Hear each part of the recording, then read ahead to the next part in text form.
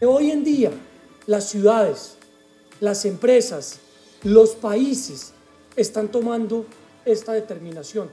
¿Me digitalizo o por el contrario me transformo digitalmente? ¿A qué le quiero apuntar yo? Y esas son decisiones obviamente estratégicas y fundamentales. La digitalización, ¿cuándo se da? Cuando se adoptan soluciones digitales.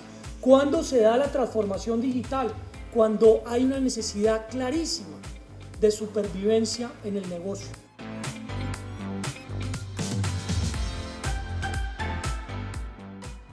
Con la publicación de un borrador que hemos denominado borrador de políticas públicas de ciudades inteligentes, para su conocimiento, para su comentario, para su análisis, para sus críticas, las de la ciudadanía, las del sector privado, las de la academia.